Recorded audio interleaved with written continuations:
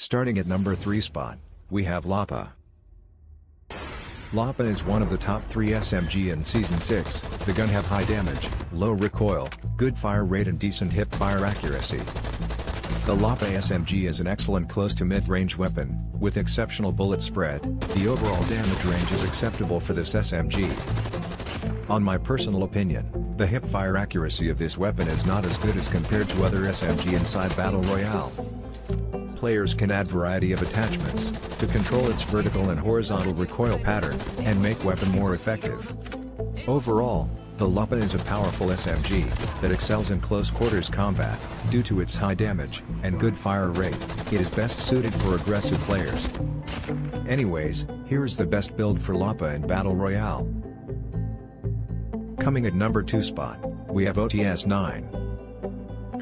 The OTS-9 is a quick-fire submachine gun, with high mobility, and extremely fast killing time with good fire rate. The OTS-9 have the lowest sprint to fire delay, compared to other SMG in the game. The movement speed is also increased, that allows you to dodge enemy bullet more efficient, this makes the gun extremely deadly and fun to use.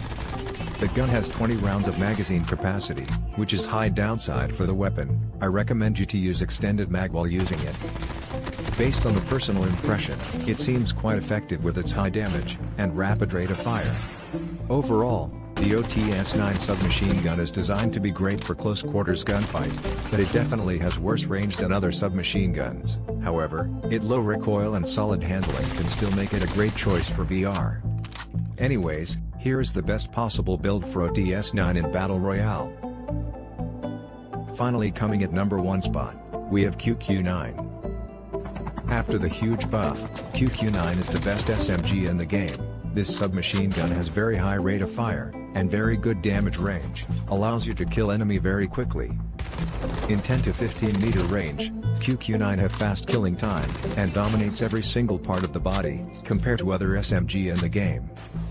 The QQ9 have better initial hipfire accuracy, with super dense bullet spread, which makes the gun very deadly in close quarters combat.